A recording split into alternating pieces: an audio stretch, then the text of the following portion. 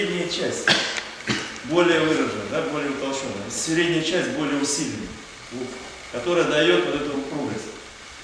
Это ваша средняя часть. Понимаете? Там натяжение, лопатки тоже должны натягивать. Нельзя мышцами спины тянуть по этому. А, что, что она дает?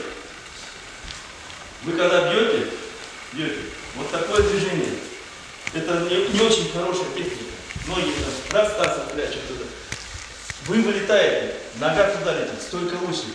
Ваш удар, момент, когда вы, вы, вы бьете, вы, нельзя вот так делать. Я смотрите, что делаю. Работа. Я спину от рук раз- в разные стороны. Видите, и уже импульс. Вот этот импульс я должен, пам! Я, видите, лопатки назад идут. Кирилл! Кирилл! Спина. Момент, ноги туда, импульс. Помимо того, что я до него долетаю, вот этот момент разрыва, позвоночник является опорой для удара городских. Вы должны в позвоночник упираться. Такой детонирующий удар вы должны делать. Дополнительный вектор. Действие назад вызывает действие вперед. Все время запомни- помните о реактивном двигателе. В. Очень много векторов, там десятки, сотни векторов, которые вы должны собрать, чтобы был сильный удар. Ось.